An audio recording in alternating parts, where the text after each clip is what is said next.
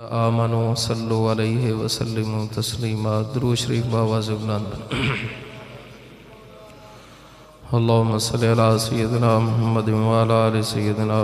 मुबारक वसल्लम। सलातु व सलाम अलैका या सय्यदी या रसूलल्लाह। व अला आलिका व असहाबिका या हबीबल्लाह। सलातु व सलाम अलैका या शफीअल मुज़निबीन। वाला आलिका वसहाबिका या रहमतल्लिलालमीन बलगलुला बिकमालिही कशफत दुजा बिजमालिही हसनत जमी खिसालिही, सल्लु अलैहि व आलिही। इलाही गदा हूँ, मुझे शाह कर दे, ज़मीर मोहम्मद से आगाह कर दे। कोई बन गया रौनक पखियाँ दी ਕੋਈ ਛੱਡ ਕੇ ਸ਼ੀਸ਼ ਮਹਲ ਚੱਲਿਆ, ਕੋਈ ਪਲਿਆ ਨਾਸ ਤੇ ਨਖਰਿਆਂ ਵਿੱਚ, ਕੋਈ ਰੇਤ ਗਰਮ ਤੇ ਥਲ ਚੱਲਿਆ, ਕੋਈ ਭੁੱਲ ਗਿਆ ਮਕਸਦ ਆਵਣ ਦਾ, ਕੋਈ ਕਰਕੇ ਮਕਸਦ ਹੱਲ ਚੱਲਿਆ, ਇੱਥੇ ਹਰ ਕੋਈ ਫਰੀਦ ਮੁਸਾਫਰ ਏ, ਕੋਈ ਅੱਜ ਚੱਲਿਆ, ਕੋਈ ਕੱਲ ਚੱਲਿਆ। ਬਾਦਾ ਹਮਦ ਸਨਾ काबिल सा तहरीम वाजब तज़ीम कराम नात खना ने शीरी लिसान। हाजरी नो सामिन कराम, इस वक्त मैं और आप एक साल स्वाब की महफिल पाक में जमा हैं। समी में कलब से बारगाह बेनियाज में इंतजा मंद हूँ कि माल करीम मरहुमा को करवट करवट जन्नत नसीब फरमाए। अल्लाह ताला मरहुमा को जन्नत में उस जगह मकाम अता फरमाए जहाँ वो सैदा जहरा की कनीज़ों को जगह अता फरमाएगा। अल्लाह ताला अहल खाना को सब्र जमील अता फरमाए, सब्र जमील पे अजर अजीम अता फरमाए। नबी करीम अलैहिस्सलाम की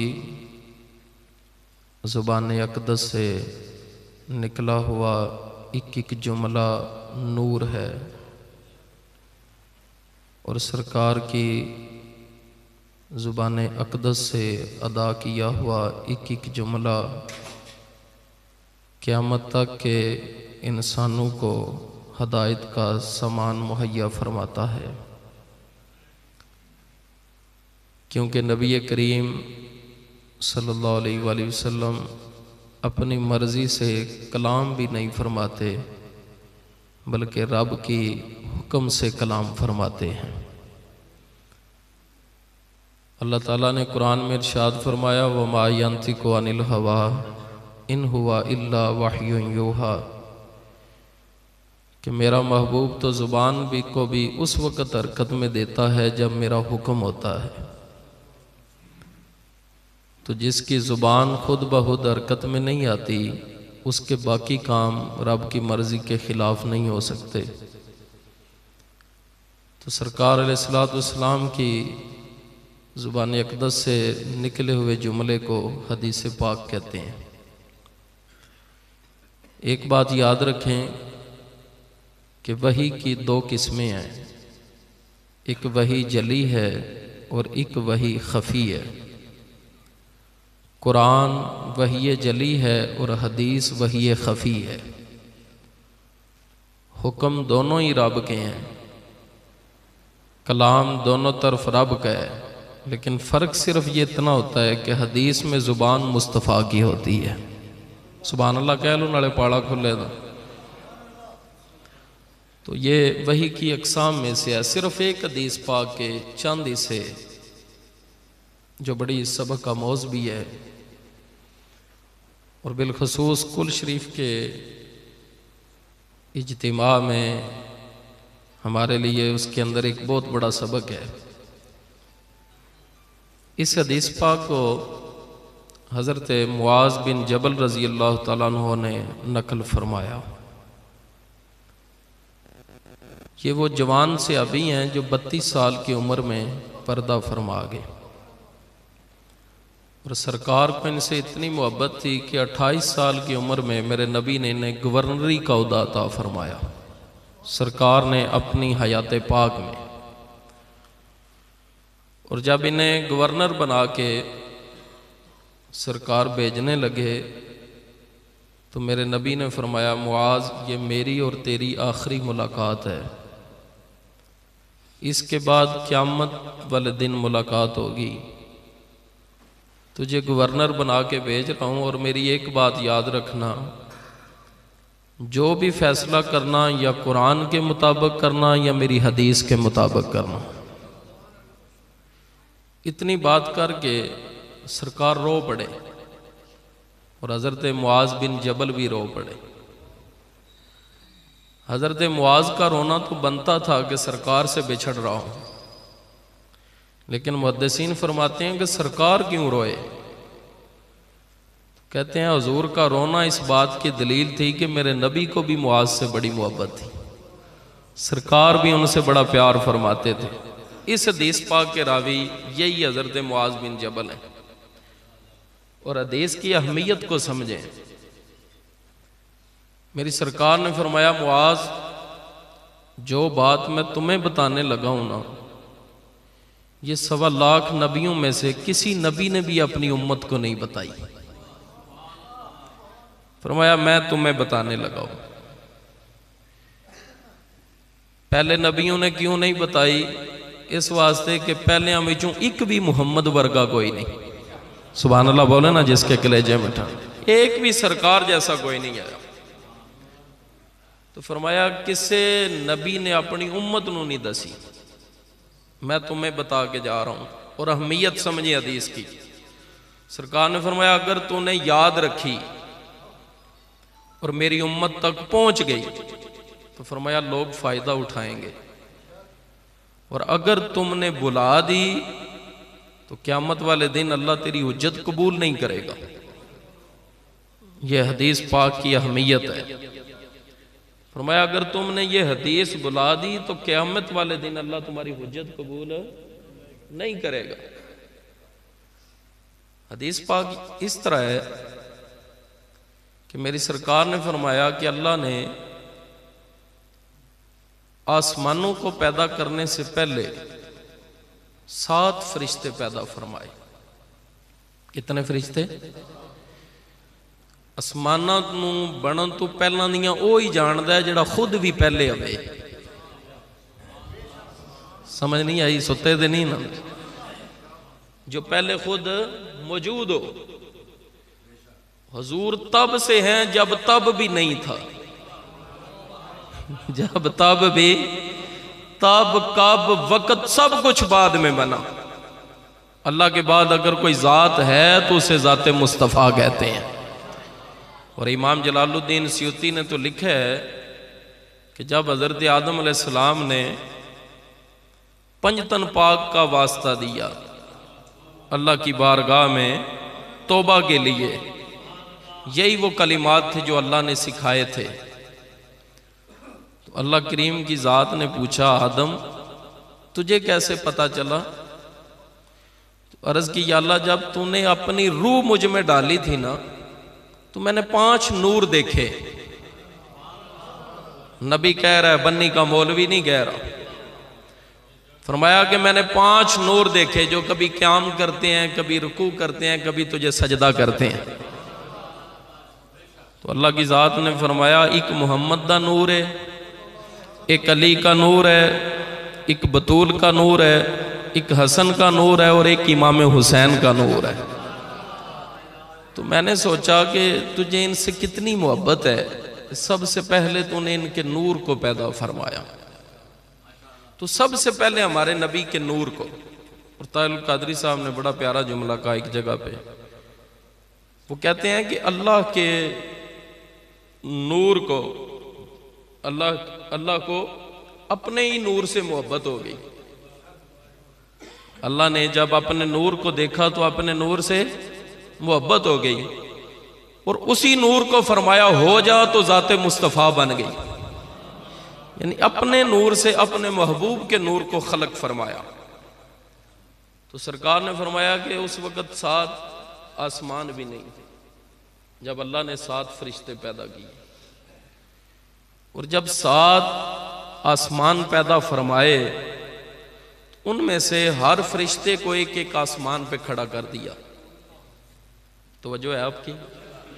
उनमें से हर एक को एक एक आसमान पे चौकीदार बना दिया। आसमान कितने हैं? सात। फरिश्ते कितने हैं? हर फरिश्ता एक एक आसमान पे खड़ा है। ये जो हमारे कंधों पे दो फरिश्ते हैं ना, इन्हें कहते हैं किरामन कातिबीन। हमारे नामा अमाल ये लेकर ऊपर जाते हैं। दाएँ कंधे का फरिश्ता नेकियाँ लिखता है, बाएँ कंधे का फरिश्ता हमारे ख़ताएँ लिखता है, गलतियाँ लिखता है, गुनाह लिखता है। तो मेरी सरकार ने फरमाया कि जब ये लेकर आसमान की तरफ़ जाते हैं ना तो नेकियाँ ऐसे चमक रही होती हैं जैसे सूरज चमकता है दिन को। जैसे दिन को सूरज चमकता है, उसके अंदर नूर होता है। तो फरमाया, जब ये नेकियाँ लेकर आसमान की तरफ़ जाते हैं, अब आपने तवज्जो फरमानी है, ज़्यादा तमीद का वक्त नहीं। तो पहले आसमान का फरिश्ता रोक लेता है। वो कहता है, रोक दो। ये जिसने अमल किए हैं ना, उसके मुँह पे मारो। फरिश्ते उससे पूछते हैं, नमाज़ है, रोज़ा है, ज़क़़त है, हज है, सर्दी में वज़ू करता रहा। और तू कहता है, नामा अमाल मुँह पे मारो, वजह। तो वो कहता है, इसके नामा अमाल से गीबत की बदबू आ रही है। यानी अमल तो अच्छे करता था, लेकिन गीबत भी करता था। जब शाम को बैठक में बैठता था तो गीबत करना शुरू कर देता। आजकल ना लोगों ने गीबत को भी मुख्तलिफ़ नाम दे दिया। किसी से कहो ना, गीबत ना करो तो कहते ना उंजी गप शप लाते पे भाई, उसी का नाम तो गीबत है। तारीफ़ सुने पहले गीबत कहते किसे हैं? किसी के अंदर कोई ऐसी बात मौजूद हो, किसी के अंदर कोई ऐसी बात मौजूद हो जो उसके मुँह पर कही जाए तो उसे बुरी लगे। ਉਹ ਗੱਲ ਉਹਦੀ ਕੰਡ ਦੇ ਪਿੱਛੇ ਕਹਿਣਾ ਉਹਨੂੰ ਗੀਬਤ ਖਵਾਉਂਦੇ और हमारे यहां तो लोग ऐसा करते हैं कि वो ऐब उसमें होता भी नहीं तो फिर भी बयान कर देते हैं अगर ऐब मौजूद ना हो फिर तो तोहमत है ना मगर ना वो क्या है गीबत एक गीबत ने सारे अमाल ही जाया कर दिए लोग कहते हैं अमल अल्लाह तक पहुंच गए पहले आसमान से भी ऊपर नहीं गए गीबत ने सारे अमाल ही रद्द कर दिए। और मेरे नबी की हदीस सुने, सख्त जुमले सरकार ने फरमाए, फरमाया लगीबा तो अशद मिना जिना। गीबत जिना से भी शदीद जुर्म है। फरमाया, जिना इतना बड़ा जुर्म नहीं जितनी गीबत बड़ा जुर्म है। और हम गीबत करके सारे नामा अमाल को जाया कर बैठते वो पहले आसमान से भी ऊपर नहीं जाते। और फिर फरमाया, मुआज, अगर वो पहले से ऊपर निकल जाए, यानी कि गीबत ना हो, पहली स्टेज पार हो गई। फरमाया, आगे दूसरे आसमान का फरिश्ता रोक लेता है। वो कहता है, नामा अमाल उसके मुँह पे मारो जिसने की है। तो फरिश्ते पूछते हैं, इसकी क्या वजह है? नेकियाँ मौजूद हैं, सूरज की तरह चमक रही हैं। और तुम कहते हो, उसके मुँह पे मारो। बड़ी तवज्जो चाहूँगा। तो दूसरे आसमान का फरिश्ता कहता है, इसके नामा अमाल से दुनियावी गरज की बदबू आ रही है। यानी गरीबों रोटी दे खवाई सू, बाकी जेन च भी आया कि कल वोट भी लेने ने। जुमला सख्त लगे वहनी बनवाई सू, लेकिन नाल दुनियावी गरज भी है। हॉस्पिटल बनवाया है, साथ दुनियावी गरज भी है। इसके अमाल में लिल्लाहियत नहीं है। इसके अमाल में खलूस नहीं है। यानी इसने जो नेकी की है ना, बात वजह से सुने, नेकी का असल मकसद ये होता है कि दुनिया राज़ी हो या ना हो।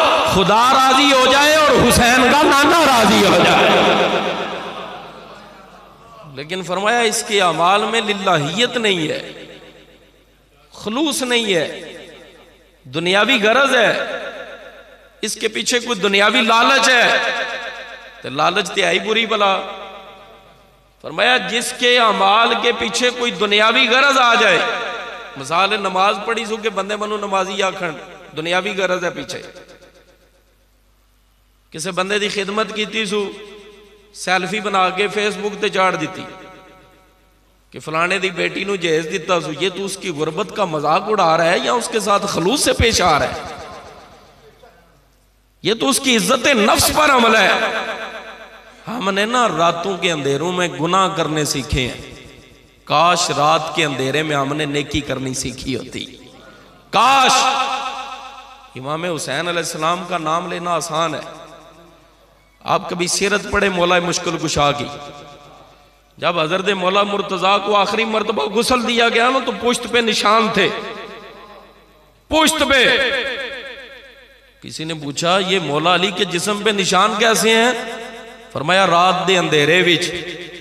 इस कमर ते बोरियाँ लद के ते मदीने दियाँ गरीबां दियाँ घरां विच पहुँचाया करता उसको मदीना भी नहीं जानता था कि कौन पहुँचा जाता है। अमल तो ऐसा होना चाहिए ना कि खुदा देखे या मुस्तफ़ा देखे। हज़रत अवैस करनी का नाम सुने? जिन्हें जिन्हें सुने हाथ चुके हैं जरा एक बार बहुत बड़े आशके रसूल। इमाम आशिकीन ते डाडा नहीं समझ आई थानू डाडे हैदरी, मौला अली सलाम की तरफों लड़ते शहीद हो गए। हज़रत खाजा खाजगान खाजा वैस करनी, आप जो फोत होने लगे ना तो आपने अल्लाह की बारगाह च अर्ज़ की आप अर्ज़ की थी अल्लाह, मैं नहीं चाहता मेरी कबर का निशान भी आवे हाय हाय हाय। दुनिया तो चाहती है ना उसके हाथ चूमे जाए। फरमाया अल्लाह, मैं चाहता ही नहीं कि मेरी कबर का निशान भी हो। पता है इसकी वजह क्या है? आपने अर्ज़ की, यारी लाई है तेरे नाल। तू हर जगह पे मौजूद है, तेरा निशान कोई नहीं। हर जगह पे मौजूद है, तेरा एक जगह पे निशान कोई नहीं। और फरमाया, मैं तेरे नाल यारी लाई, हर जगह पे मौजूद हवा निशान मेरा भी नहीं होना चाहिए आज भी सात मजार हैं, हज़रत अवैस करनी के नाम से जो मनसूब है। सात। अगले जुमले बड़े सोने आपने अर्ज़ किए ये हदीसे रसूल मौजूद है कि सरकार ने फरमाया सी, आयशा, क्यामत वाले दिन सत्तर हज़ार फरिश्ता अवैस के रूप में आएगा। क्योंकि अवैस ने दुआ की थी अल्लाह, मैं नहीं चाहता क्यामत वाले दिन भी मुझे कोई जाने, मुझे कोई पहचाने। फरमाया, मेरी क्यामत वाले दिन भी फकत यही आरज़ू है। या तू से आन ले, या तेरा महबूब मोहम्मद से आन ले। फरमाया, और गरज ही कोई नहीं। तो फरमाया, सत्तर हज़ार फरिश्ता अवैस के रूप में उठेगा। कोई कहेगा, वो अवैस है। कोई कहेगा, वो अवैस है। कोई कहेगा, वो वैस है। लेकिन मेरे नबी ने फरमाया, आयशा, क्यामत वाले दिन भी हकीकी अवैस को, या मैं खुदा जान, मैं जानता हूँगा, या मेरा खुदा जानता होगा? इस तरह दुनिया खुद को छापती है, अवैस ने खुद को छुपाया अवैस ने खुद को तो जड़ा बंदा खुद न छुपा ना, फिर रब छाप दे सुबह बोले ना जिन्होंने समझ आई है यही वजह ना कि चौदह सदियाँ बाद बन्नी दी मस्जिद कुल दी महफल से भी ज़िक्र अवैस का हो जिसे रब छापता है ना, फिर उसका ज़िक्र ऐसे होता है। फिर फर्श पे भी उसका ज़िक्र रहता है, अरश पे भी उसी का ज़िक्र रहता है। दुनियावी गरज निकाल दें अमाल से। किसी की भी खिदमत करनी है अंदर लिल्लाहियत हवे। खलूस हो। वरना आप ये समझ रहे हैं ना कि अमाल अल्लाह तक पहुँच गए, और दूजे आसमान तुम ही उत्ते नहीं गए। और फरमाया, अगर दूसरे से भी ऊपर निकल जाए, बड़ी तवज्जो तलब बात। अगर दूसरे से ऊपर निकल जाए तो फरमाया जरा त्रीजे तक खड़े हैं डक लेंगे वो कहता है उसके मुँह पे मारो जिसने अमल किए कबूल ही नहीं, इस काबल ही नहीं कि अल्लाह की बारगाह में पहुँचे। उसके मुँह पर मार दो। तो किरामन कातबीन पूछते हैं, इसकी क्या वजह है? तो वो कहता है, इसके अमाल से तकबर की बदबू आ रही है। इसके अंदर तकबर पाया जाता मैं मैं बड़ा आदमी मेरे जैसा है ही कोई नहीं। फरमाया तकबर पाया जाता था इसके अंदर। तो तकबर नालों पैड़ी बदबू ही कोई नहीं किसी शहर फरमाया नामा अमाल उसके मुँह पर मारो, वापस कर दो। और सुने तकबर किस चीज़ का? असब का तकबर नसब का तकबर शक्ल सूरत का तकबर जवानी का तकबर ताकत और दौलत के नशे का तकबर हज़रत इमाम गजाली दे उस्ताद एक गली चो लंघते जाते हैं ना एक नौजवान आकड़ के पै टुरे अल्लाह ने कुरान भी जिथे अपन वलिया की शान बयान फरमाई है ना उन्होंने एक भी बयान फरमाइए कि वो झुक झुक कर ज़मीन पर चलते हैं। वो आजजी के साथ ज़मीन पर चलते हैं इनकसारी के साथ। हज़रत इमाम गजाली वेख्या नौजवान आकड़ के पै चले। फरमाया होश कर। आकड़ के ना चल, अल्लाह की ज़मीन ते ही जाना ही। आकड़ के ना चल। अजकन साडे नहीं कहते उन्हें मुड़ के आख्या, उन्हें आख्या लगता है, बाबा तू मैं जानता नहीं है। जुमला सुना इमाम गजाली दे उस्ताद का फरमाया, जानना तनु एक कतरा नापाक से वजूद बना है तेरा। जो कपड़े पे लग जाए तो धोए बगैर पाक नहीं होता। जो मनी की सूरत में खारिज हो जाए तो बंदा जब तक गुसल ना करे वो पाक नहीं होता। फरमाया ये तेरी इब्तदा है और कब्र की सड़ी हुई मट्टी तेरी इंतहा है। जानता हूँ तुझे वो नौजवान गश खाकर ज़मीन पर गिरा। और जब होश आया ना तो उनके जुमले का ये असर हुआ। कि रब ने ज़ाहिर भी मुनवर फरमा दिया, रब ने उनका बातन भी मुनवर फरमा दिया। आकड़ किस बात की तकबर किस बात का? अल्लाह को वो बंदे पसंद हैं जो आजजी इख्तियार करते हैं। इनके सारी तवज्जो है आपकी। मेरे नबी जदों मेराज ते गए। सुबह अल्लाह बोलो ना। सरकार उत्थे गए ने जिथे सवा लख विचों एक भी नहीं गया। अल्लाह दया खजाने किसी शहर की कमी कोई नहीं। बाकी खजाने दूसरा मुहम्मद कोई नहीं। जाते मुस्तफ़ा एक है, आगे तो कोई तब जाता ना अगर दूसरा मुस्तफ़ा होता। तो जिस वे ला सुम्मा दना फतदल्ला फकान काबा कौसैन औ अदना दियाँ खलबतां विच। की को नेड़े होए आए हो? फरमाया, मनु उस वे पता लगा जिस वे रब का दस्ते कुदरत मेरे दो मोंडिया के विचकार आके लगा दो मोंडिया दे तो फरमाते ने, अल्लाह ने मैं पूछे सोने जो को यार किसी यार मिलन जाए तो तोहफा लैके जाता है। तू मेरे वास्ते की लैके आए एडी दूरों जो आया ते मेरे तो बड़ा तेरा महबूब भी कोई नहीं, ते साडे तो पक्की यारी भी किसी दी नहीं। तो फरमाया, तुम क्या लेकर आयो तो सरकार ने अर्ज़ की अल्लाह वो लैके आया जड़ा तेरे खजानिया भी नहीं। जेड़ी शायद तेरिया खजानिया भी नहीं। अल्लाह की जात ने फरमाया मैं मालिकुल मुल्क हर चीज़ है मेरे खजाने में। और महबूब आप कहते हैं जो चीज़ तेरे खजानों में भी नहीं जुमला सुने हुसैन के नाने का। मेरे आका ने हाथ जोड़ के अर्ज़ की सोने आजजी लेके आया हूँ मैं। हाय हाय। इनके सारी लेकर आया हूँ आजजी तेरे दरबार में नहीं। तो तकबर सिर्फ़ तुझे जेब देता है। बड़ाई सिर्फ़ तुझे जेब देती है। एक आजजी लेकर आया हूँ। अल्लाह तोहफा इन्ना पसंद आया इन्ना पसंद आया। रा फरमाया मंग सोने की मंगना सवान अल्लाह बोलो देते अगला जुमला फरमाया मांग क्या मांगते हो? मांगना तेरा काम है देना मेरा काम है। सुनिया मांग क्या मांगते हो? हूँ भी जो तुम सुबहान अल्लाह ना ना बोली तो तो मनु बनी वाले शिकवा रवेगा रब का दीदार पे आता वे कुछ है याद रही है जो तोहफा रब न पसंद आया ना, अल्लाह ने फरमाया, माँ की मंग रहा है अर्ज़ की सोने उम्मत की बख्शिश मंगना मैं। हाय हाय। मैं अपनी उम्मत की, इनके गुनाह मेरे सामने हैं, उनके ऐब मेरे सामने हैं, कमियाँ, कुताइयाँ मेरे सामने हैं, कुछ भी नहीं माँगता। तेरी बारगाह में सिर्फ़ उम्मत की बख्शिश मांगने आया हूँ। मेरी उम्मत के गुनाह ना वेखी, मेरा अरश आमना वेखी।